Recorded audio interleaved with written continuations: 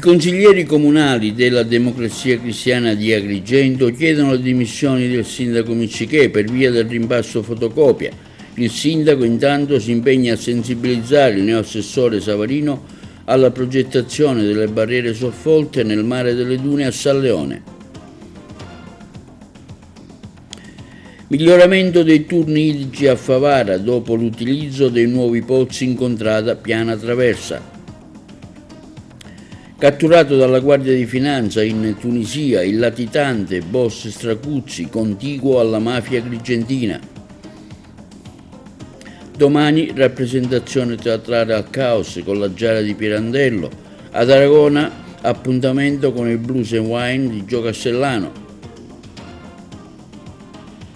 Amichevole dell'Acragas con la Folgore, ampia vittoria per Serreti a zero, doppietta di Di Stefano.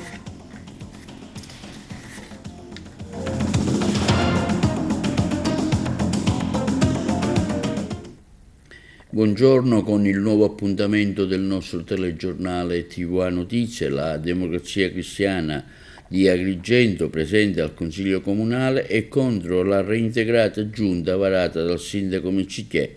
Ne chiederemo le dimissioni. Il servizio. Per ciò che riguarda la democrazia cristiana che chiede le dimissioni del sindaco di Agrigento, il percorso della nuova vecchia giunta Miciche potrebbe essere molto difficoltoso. Secondo i consiglieri comunali Bongiovi, Spataro, Vitellaro e Zicari e la segreteria cittadina del partito, il sindaco afferma una nota, ancora una volta ha perso un'occasione per redimersi. 14 giorni fa ha azzerato la giunta per rilanciare l'azione amministrativa e ieri ha rinominato le stesse identiche persone presentandosi alla città come se nulla fosse successo, azzoppando la macchina amministrativa per due lunghe settimane in un momento delicato come quello che stiamo vivendo. Le due delibere di azzeramento della giunta e di riconferma della stessa dimostrano chiaramente che il sindaco Miciche è capace di contraddire se stesso in pochi giorni, dice il gruppo DC. Questo significa mortificare gli stessi cittadini che lo hanno eletto, offendere le loro intelligenze e poi rincarano la dose questo sindaco è inadeguato al ruolo, manca di una chiara e lucida visione politica e si vive alla giornata. Proprio per queste motivazioni, continuano i consiglieri, è nostro dovere chiedere le dimissioni del sindaco prima che si verifichino ulteriori situazioni imbarazzanti per il nome della città. Saremmo capitale della cultura e dobbiamo smetterla con le situazioni ridicole e pirandelliane che gettano discredito sulla città. La democrazia cristiana, conclude la nota, verificherà se in aula ci sono le condizioni per una formale mozione di sfiducia quando è troppo è troppo. Vediamo se esiste ancora la politica in città e cosa ha da dire in merito a questo teatrino.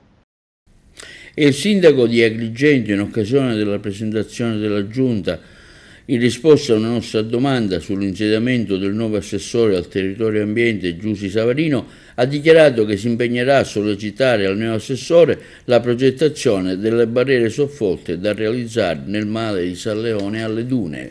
Sentiamo l'intervista al primo cittadino.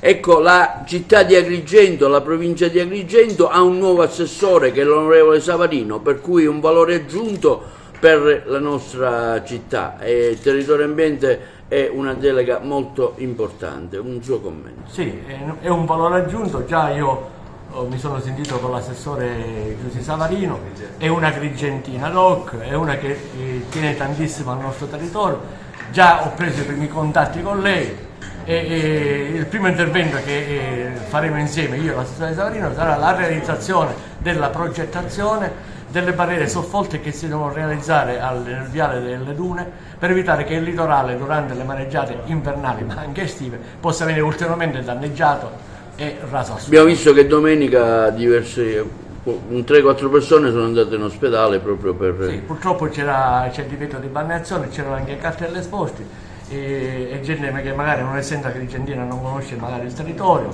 E... Quindi possiamo annunciare che finalmente queste barriere soffolte... Le possiamo annunciare, dobbiamo, dico, dobbiamo c'è, in ogni caso un'intenzione di fare queste barriere soffolte. Il Marino è disponibile a, a, attivarsi per il nostro territorio, quindi penso che ostacoli non ci saranno. Ci sarà un problema forse economico, ma poi sarà, non, è un, non, è un, problema mio, deve essere poi l'intera giunta e il Presidente Schifani poi a trovare le risorse oggi.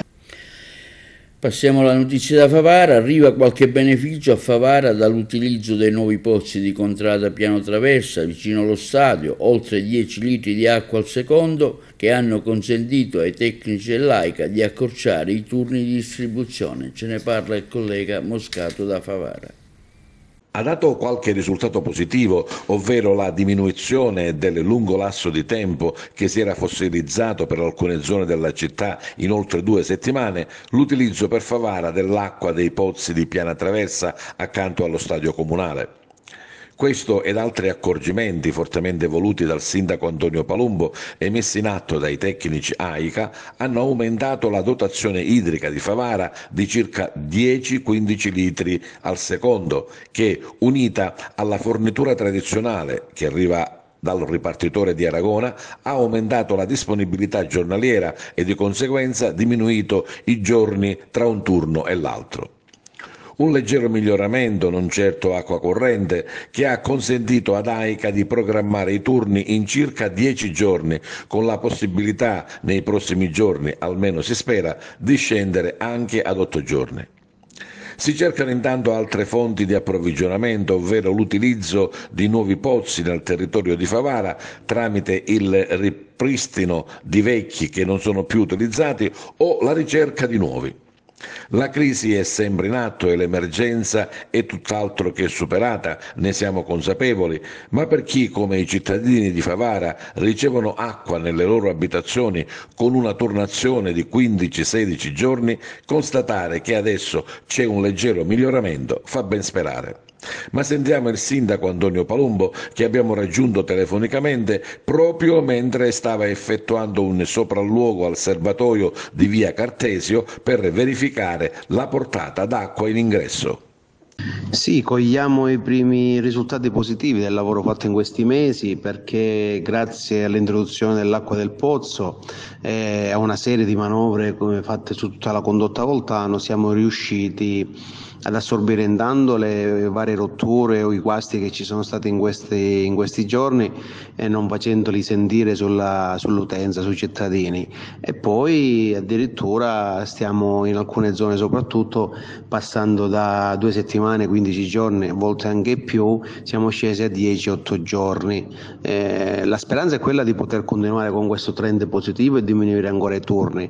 Tutto sempre dovuto anche all'acqua che continuerà ad arrivare dalla condotta condotta principale dal partitore d'Aragona, ma se rimane una, un approvvigionamento costante eh, non ci sono altri problemi, speriamo nel giro di qualche settimana, eh, anche prima, di avere, iniziare ad avere turni nella normalità, che non sono normali, ma purtroppo eh, dalle nostre parti sì. Eh, l'obiettivo è quello di mettere in rete nuove, eh, nuove, nuove fonti.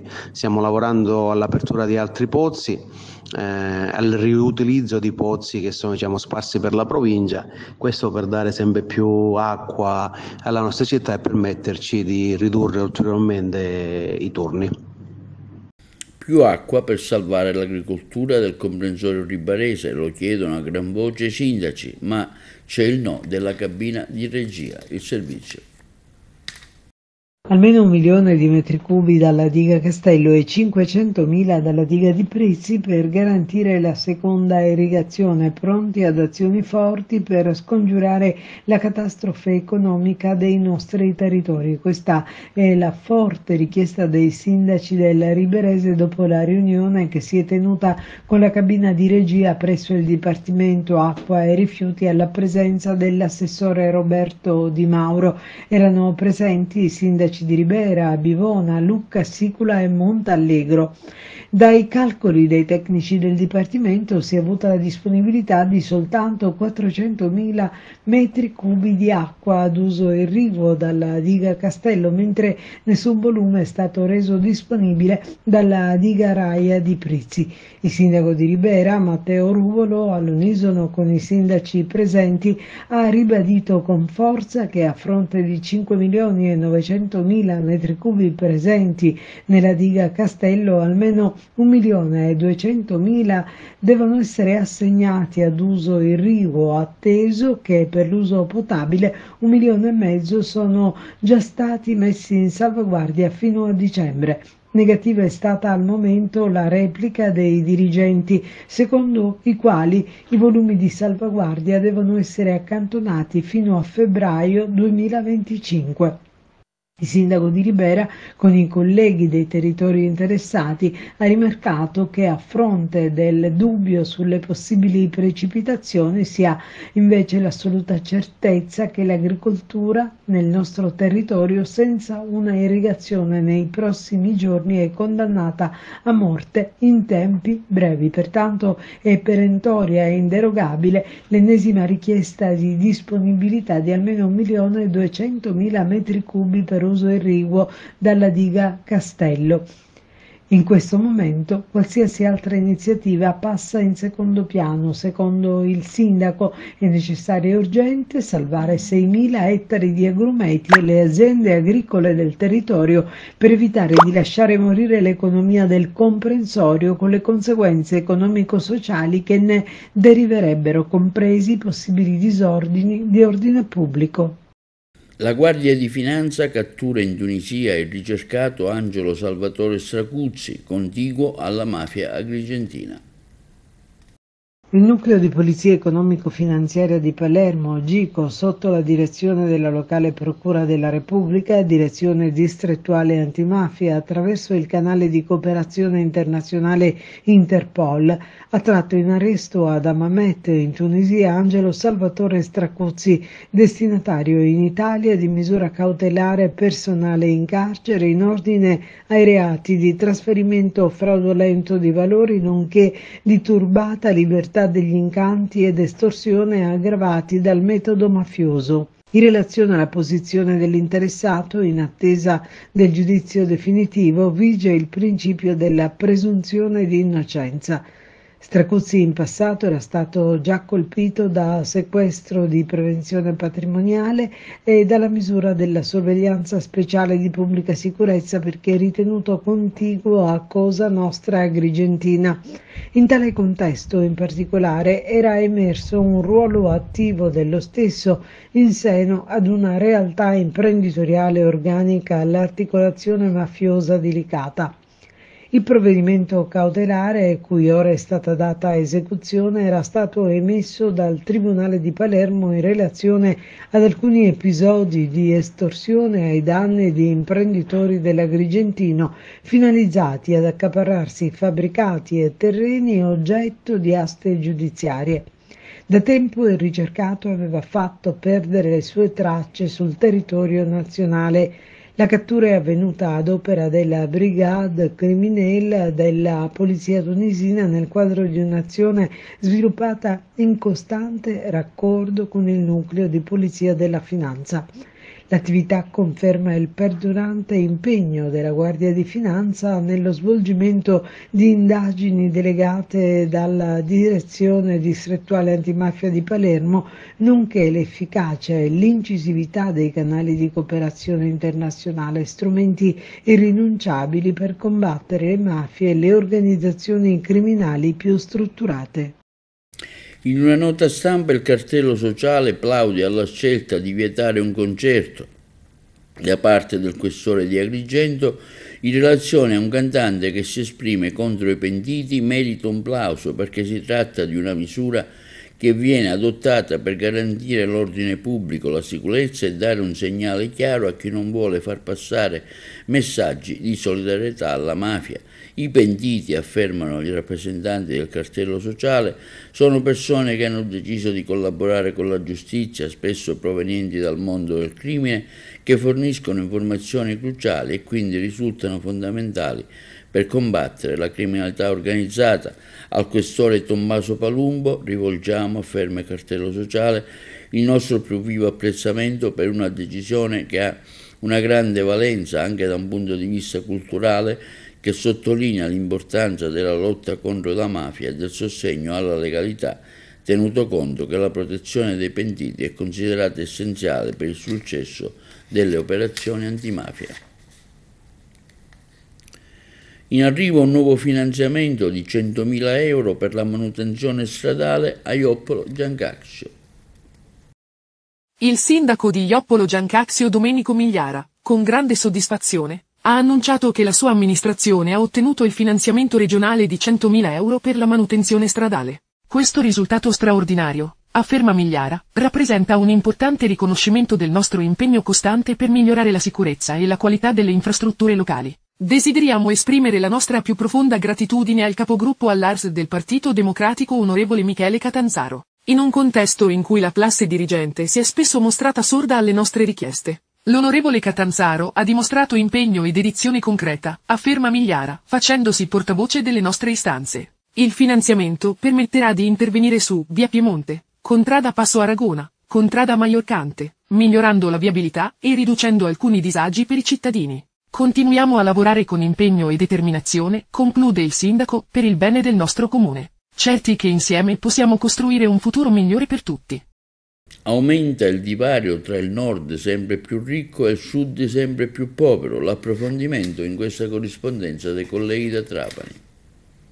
Il gap tra nord e sud continua ad essere sempre più allarmante, questo è quanto emerge dall'ultimo rapporto Demoscopica, nonostante segnali di crescita economica nel mezzogiorno il divario in termini di reddito sanità speranza di vita e povertà rimane un ostacolo rilevante. La pandemia e la crisi ucraina hanno sicuramente accentuato questa grande disuguaglianza, sebbene tutte le aree del paese abbiano subito delle perdite Nonostante si siano registrati miglioramenti nel mercato del lavoro, il tasso di occupazione nel nord è del 69.4% rispetto al 48.2% del sud, mentre la disoccupazione del 4.6% nel nord contro il 14% nel mezzogiorno.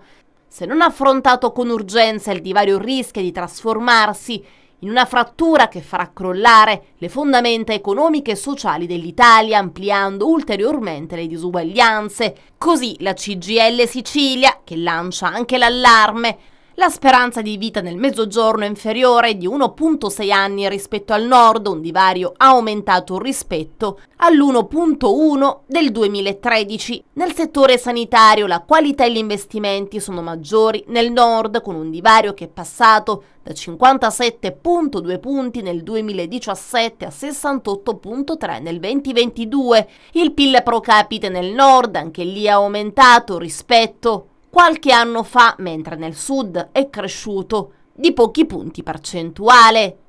In Sicilia in totale il 27% delle famiglie vive in condizioni di povertà, una condizione strettamente legata a modelli di consumo non necessariamente corrispondenti ai livelli di reddito. In tutti i settori e su tutti i fronti, quindi imprese, lavoratori e giovani hanno affrontato e stanno affrontando oggi la crisi. Solo qualche mese fa era stata proprio la CGL a dare l'allarme facendo una stima di circa 250.000 lavoratori sotto la soglia di povertà.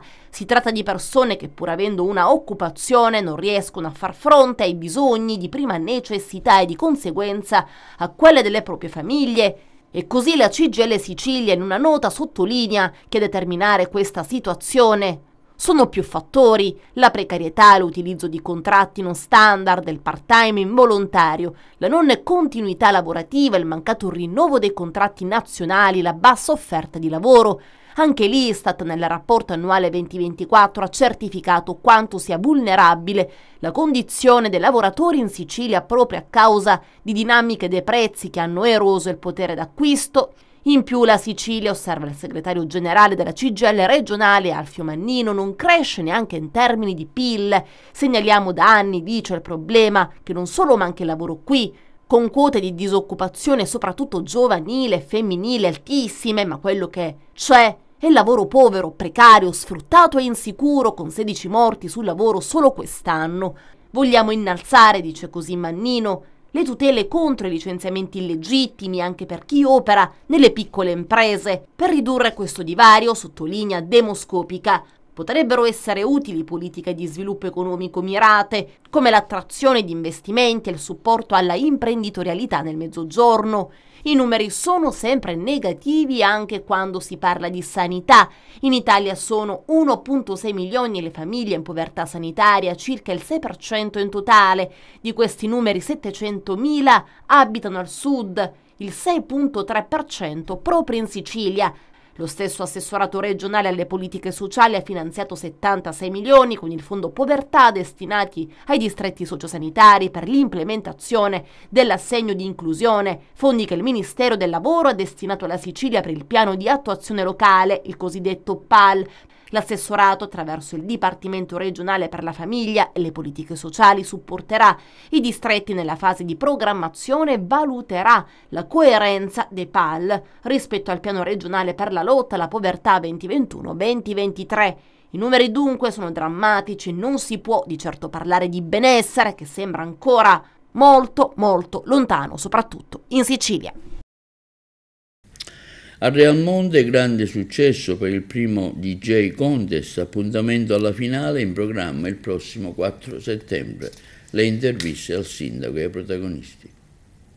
Prima edizione del DJ Contest, prima serata che apre appunto questa eh, competizione perché sarà una vera e propria competizione che porterà insomma un primo classificato e ad altri e ci saranno dei premi eh, chiaramente che sono stati eh, sponsorizzati dalla Real Marina e dai Talcali. Che dire, io sono molto soddisfatta e per questo ringrazio il mio responsabile d'aria Pietro Caruana che con me ha pensato di svecchiare un poco la piazza e di fare delle attività su misura dei ragazzi. E questo ne è un esempio, questa sera la piazza è gremita di gente, eh, c'è quello spirito sano di competizione che ci piace, dove insomma il talento sicuramente farà la differenza e dove ancora una volta Realmonte potrà dire Realmonte c'è sempre più nella via della bellezza. Per questo risultato ringrazio ovviamente il mio responsabile d'aria Pietro Caruana appunto, tutti i responsabili eh, che sono anche direttori nelle loro attività, eh, che sono Marco Gallo, eh, Luciano Carruba, eh, Franco Di Salvo e Saldi Betta, oltre a tutti gli altri. Un ringraziamento particolare lo faccio all'ufficio Costa Bianca capitanato dall'architetto Vella e, e dal geometra Cottone. E che dire, ancora una volta la squadra vince. Ringrazio ovviamente le forze dell'ordine, i vigili urbani e la collettività tutta, i cittadini che sono il nostro cuore pulsante. Ringrazio altresì i consiglieri, gli assessori, la giunta eh, che è sempre presente, noi siamo una squadra e in particolare voglio ringraziare eh, il vicepresidente del Consiglio Pasquale Valenti che devo dire mi ha dato una grande mano nella gestione delle attività amministrative e un ragazzo insomma che eh, si è speso per i ragazzi. Allora, primo DJ Contest Real Monte Città della Scala dei Turchi vuole essere un aprire ai giovani un, progetto pilota che ci ha dato grandi soddisfazioni, grande partecipazione, grandi iscritti, alcuni di questi già li abbiamo opzionati per l'anno prossimo per fare la seconda edizione. Prima selezione oggi, ciò significa il 6 agosto, il 4 settembre faremo la finale che si svolgerà tra 5 ragazzi, tutti emergenti in questo mondo. Cosa vogliamo fare al Real Monde? Vogliamo una volta per tutte aprire i giovani far capire che venire qua non significa solo la nostra grande scala dei turchi, ma trovare un divertimento e un modo di, per distrarsi.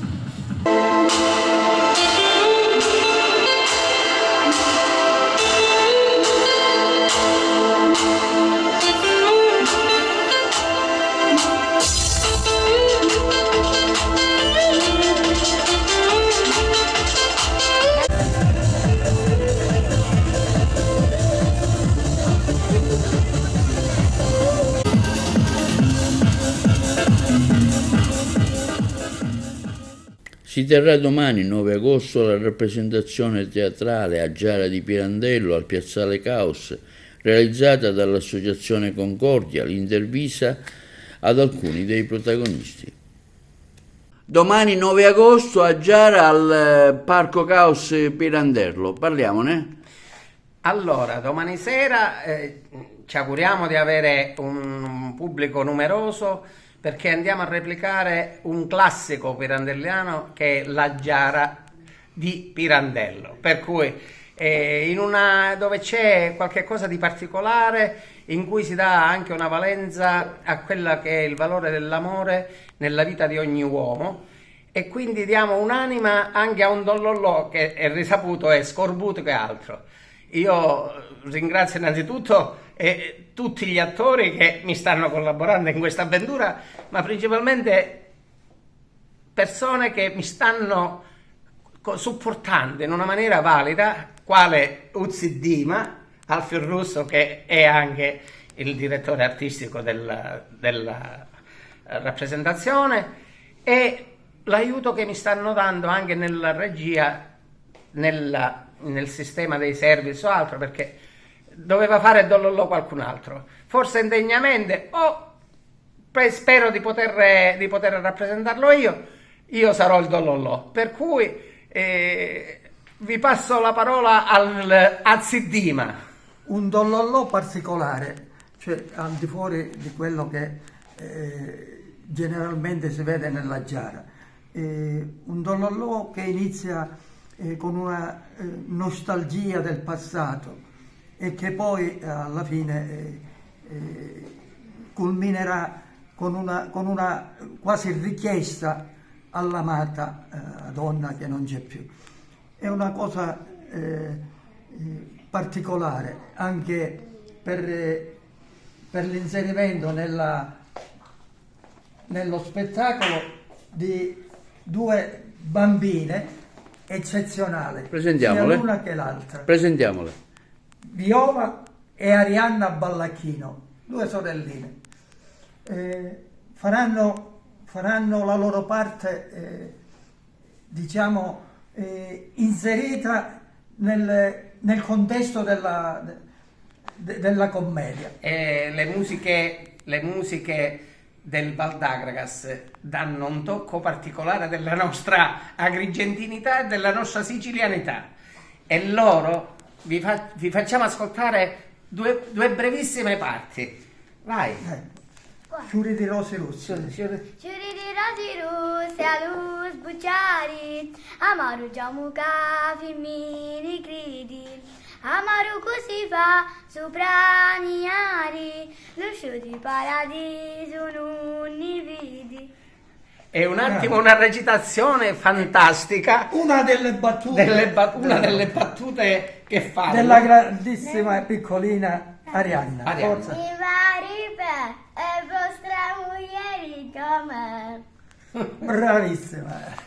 e sono sicuro che chi assisterà avrà modo di divertirsi e vedere il Pirandello che noi conosciamo, dove tutto è relativo, anche la ragione e il torto, la decisione della ragione e il torto, e, e quindi veniteci a vedere, vi divertirete.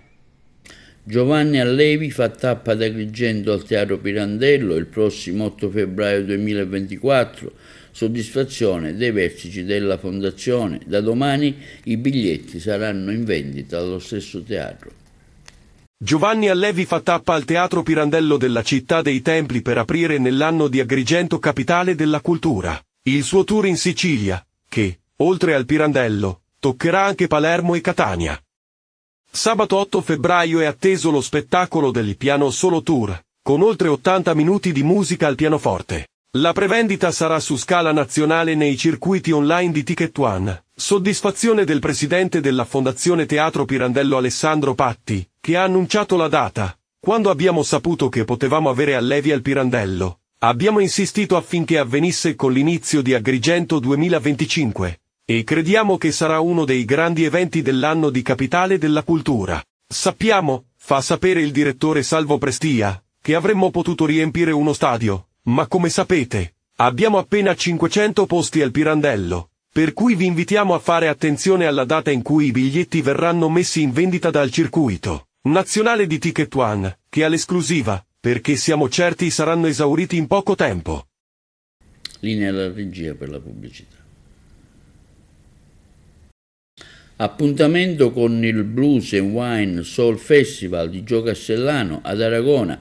Ha seguito per noi l'evento Giuseppe Moscato.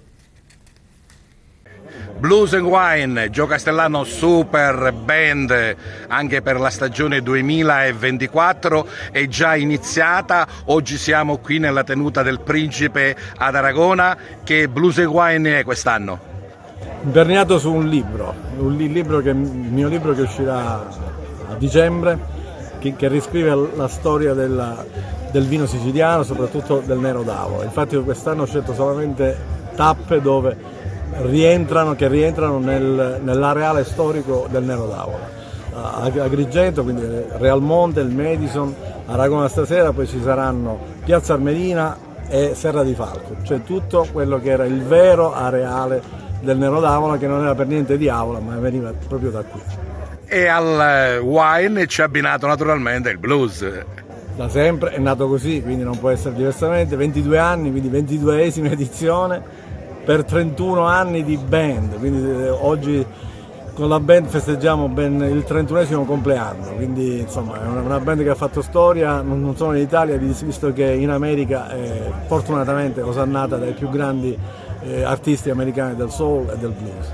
C'è sempre una special guest, quest'anno? Corey Thompson, un grande cantante del, del North Carolina, un, un, vero baritonale, uno che canta ancora alla, alla Barry White o, o, alla Teddy Pendergrass, per dirne due grandissimi, ma quello che esprime veramente il soul, il migliore soul mondiale è questo, dove purtroppo invece negli ultimi tempi l'hip hop o altri generi come il rap hanno, hanno un po' deviato la musica.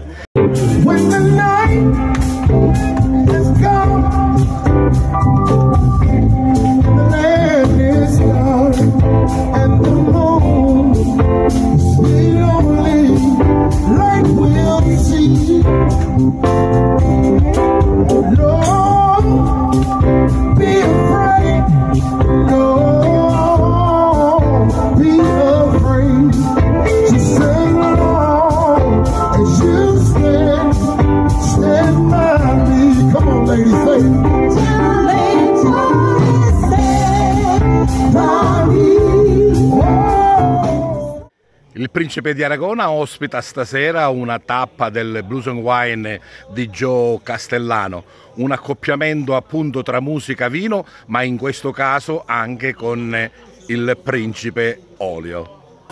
Sì, stasera abbiamo voluto stasera con Joe Castellano, è la seconda edizione, l'anno scorso è stata riuscitissima, anche stasera vedo che gli ospiti hanno gradito tantissimo sia vini che l'olio, noi ecco, siamo un'azienda eh, produttrice di olio, quindi la serata oltre ad essere dedicata al vino è dedicata anche all'olio.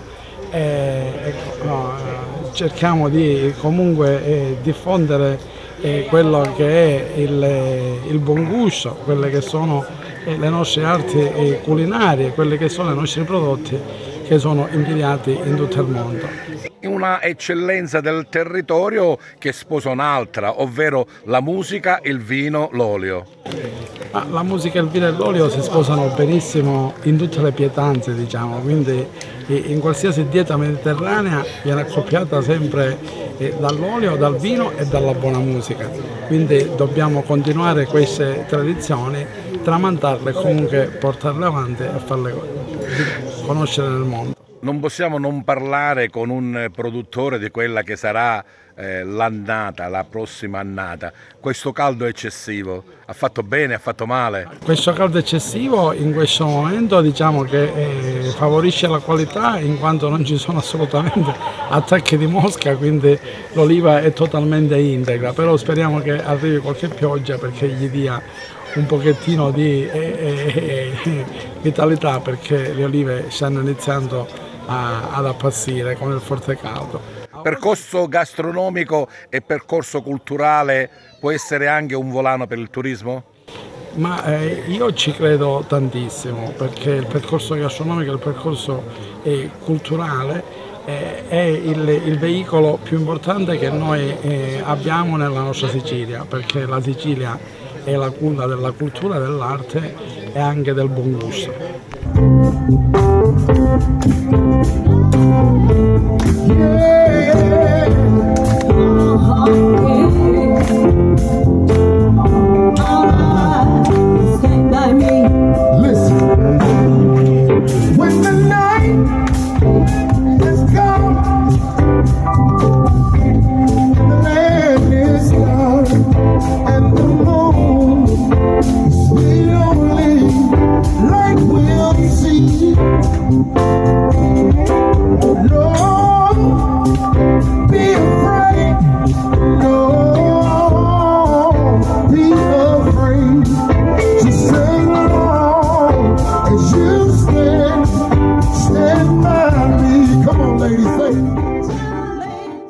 E si è svolta a Montevago nell'ambito delle manifestazioni estive la Notte Gialla 2024 con il taglio di una mega torta a base di limone a cura degli chef del Resort Adler inserite nel quadro della festa di San Domenico. Sentiamo una dichiarazione del sindaco di Montevago, onorevole Margherita Del Rocca Ruvolo.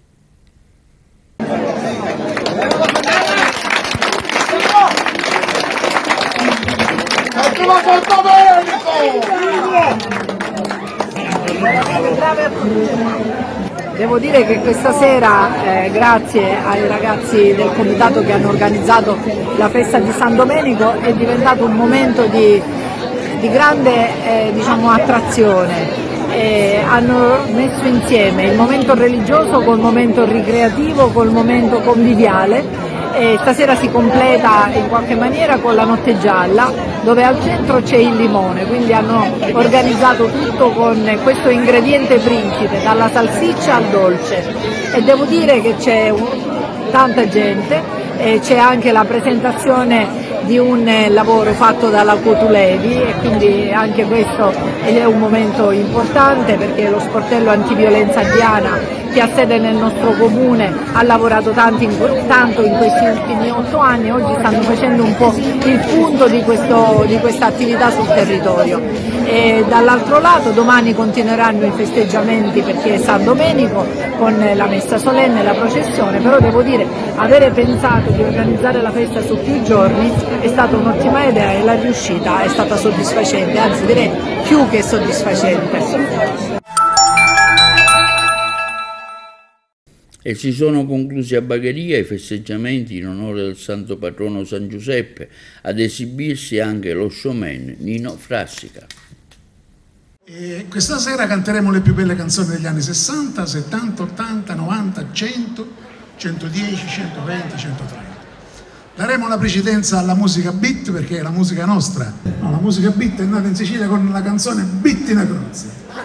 Come concilia questi due amori, queste due passioni? Ma, eh, ma sono i due veri amori miei. Il primo è la musica, nonostante io faccia l'attore, e poi faccio l'attore scherzo e canto, sto con loro e, e combiniamo una festa che poi improvvisiamo, molta parte improvvisata.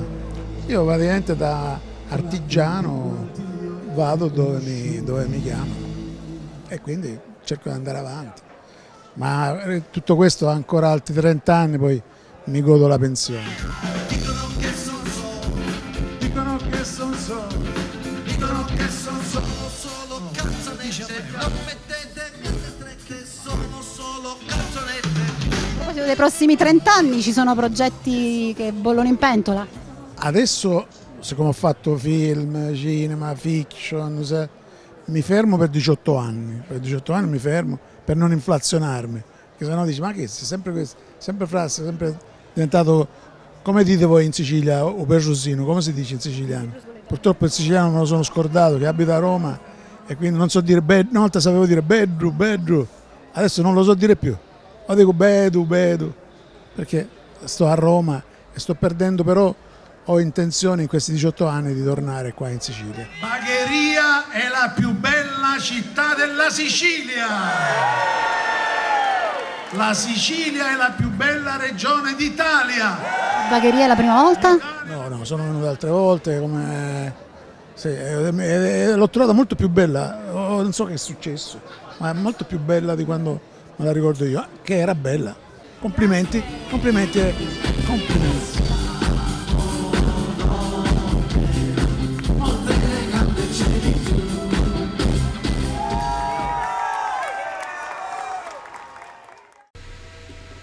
Esodo e controesodo estivo, anche Messina deve gestire il traffico intenso, si punta a mitigare i disagi per il massiccio flusso di spostamenti di questo fine settimana che è segnalato dal bollino nero. In prefettura a Messina si è riunito il Comitato Operativo Viabilità COV, un incontro tra forze dell'ordine, istituzioni ed enti. Tra le misure adottate, sospensione dei cantieri, vigilanza e informazione costante per chi viaggia, più controlli delle forze dell'ordine e più traghetti.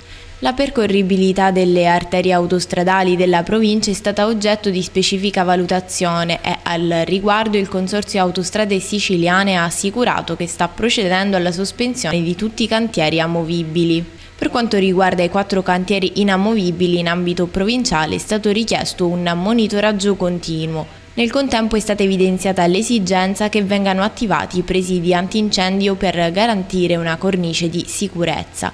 Il CAS ha anche confermato il rispetto del cronoprogramma che interessa l'assetto viario del viadotto Ritiro e la tangenziale Messina-Villafranca, i cui lavori dovrebbero terminare il 9 agosto prossimo.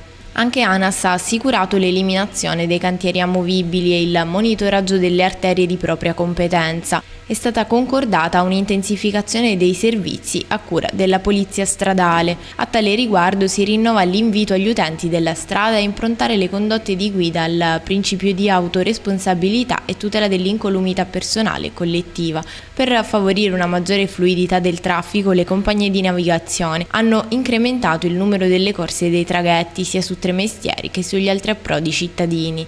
Nel caso di congestione del traffico e di lunghe soste degli automobilisti è stato inoltre previsto il coinvolgimento delle associazioni di volontariato e della Croce Rossa italiana per fornire supporto e generi di conforto ai viaggiatori. Passiamo allo sport, si è disputata un'amichevole tra l'Agregas e la Folgore, terminata per 6 reti a 0 con una doppietta di, di Stefano. Le interviste a mister Lillo Bonfatto e al direttore sportivo Giuseppe Cammarati. Mister Lillo Bonfatto, quali indicazioni dopo il test match contro la Folgore? Positive, ho visto una leggera crescita rispetto all'altra amichevole, a quella precedente. E ovviamente c'è ancora da, da, smaltire carichi di lavoro, sono carichi importanti, quindi i ragazzi stanno rispondendo benissimo. Sono contento sinceramente anche del gruppo perché è un gruppo di ragazzi che lavora eh, con, con, professionalità, questa è la cosa eh, fondamentale.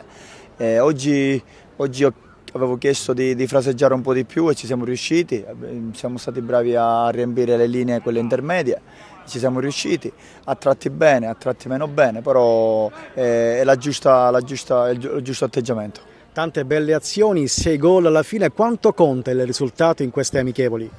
Ma conta perché ragazzi diamo quella mentalità intanto eh, di far gol è importante, eh, poi non ne abbiamo preso e quindi ancora eh, è altrettanto importante, così cresce la mentalità e io quello che chiedo ogni giorno ai ragazzi eh, perché la mentalità vincente arriva, arriva, con le prestazioni, con gli allenamenti, avendo un atteggiamento sempre propositivo, eh, quindi siamo sulla strada buona, dobbiamo ancora crescere tanto, dobbiamo migliorare e quindi siamo, su questo punto di vista siamo contenti. Quali sono le tue certezze? Ma le mie certezze intanto sono che eh, abbiamo un gruppo di, di veri uomini, eh, ragazzi come dicevo prima disponibili al lavoro, al sacrificio e non si risparmiano mai e quello per noi staff è fondamentale. Quanto fa piacere sentire l'applauso dei tifosi? Eh, quello è piacere intanto già anche per l'amichevoli che ci sono tante, tante, persone, per noi è una marcia in più, dobbiamo lavorare per, per la società ma soprattutto dobbiamo lavorare per, per gli ultra, per, per gli appassionati dell'Agras e, e, spero con tutto il cuore di, insieme, insieme, allo staff, insieme soprattutto ai ragazzi, di regalare ogni giorno ehm, come posso dire, eh, emozioni, eh, ma quello che non mancherà mai è l'impegno e la determinazione di cercare di, sempre di vincere le partite. Quando vedremo la tua vera Acragas? Ma ancora è presto, ovviamente passerà ancora del tempo, ripeto, ancora siamo in fase di preparazione, eh, dobbiamo ancora lavorare tanto eh, però cercheremo di, di arrivare al, eh, alla partita di giorno di, giorno di Coppa eh, cercando di avere una, una, condizione, non dico ottimale perché non, non può essere, però avvicinarci a quella.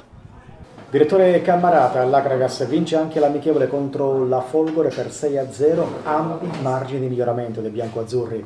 Sì, il risultato onestamente interessa poco, eh, i margini di, miglioramento è giusto che ci siano, vuol dire che stanno lavorando bene. Eh, ho visto la squadra, mi piace, è molto dedita al sacrificio. Consideriamo che facendo due ore di allenamento anche la mattina e con un caldo del genere e diciamo che no, ci vuole tanto spirito di sacrificio per stare in campo e questo c'è tutto. Eh, devo dire che è stata una buona sgambatura e andiamo avanti. Un gruppo che si coalizza sempre di più?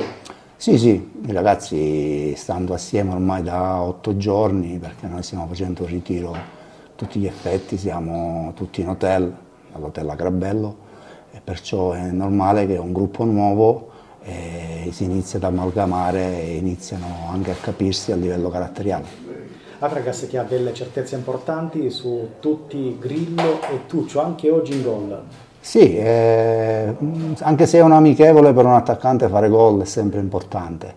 Diciamo che a livello fisico Tuccio e, e Grillo sono quelli un po' più brillanti anche per eh, la fisicità che hanno, sono dei brevilini magari stanno soffrendo di meno la preparazione, mentre gente un po' più di peso ancora si avvertono i carichi di lavoro. Doppietta per eh, Gianmarco Di Stefano, un attaccante importante per la Carcassi. Ma Gianmarco è un attaccante importante per noi, non per, non per nulla è stato riconfermato.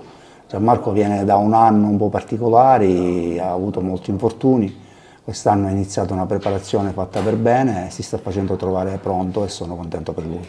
Calcio e inclusione, Oggi ha sì. giocato il titolare ID, un ragazzo di colore, la Carcassa crede molto in questo giocatore. Sì, abbiamo detto nell'intervista precedente, ID è un ragazzo che ha dimostrato che può stare in questo gruppo, eh, l'inclusione è una cosa bella, è un, un, cavallo di battaglia del nostro patrono e noi siamo ben lieti di, di metterlo in atto, ma il ragazzo sta dimostrando di poter stare in questo gruppo e oggi partire nell'11 titolare tanti giovani in casa Agragas, giovani che anche oggi si sono messi in luce. Sì, nel secondo tempo avevamo 5 2006 un 2007 in campo, sono contento perché stanno facendo bene, sappiamo benissimo che quest'anno è il primo anno per i, due, per i 2006 dove c'è l'obbligo e noi diciamo che siamo messi bene. Occhio al mercato? Mercato fin quanto è aperto ci sembra un occhio che lo guardiamo con simpatia, diciamo. La fontana di Bonamoruni diventa oggetto per il tormentone dell'estate, la carenza idrica e il ruolo importante struttura cittadina sono stati celebrati con una canzone e un video della band agrigentina ATT Alcol Test Positivo. Vi proponiamo il video che ha già avuto un gran successo sui social.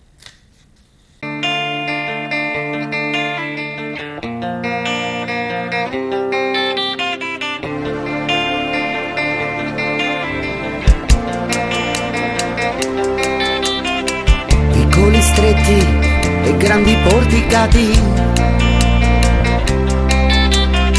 chiese barocche, santi dimenticati, culture e sogni di anni ormai passati, storie di vita di uomini elogiati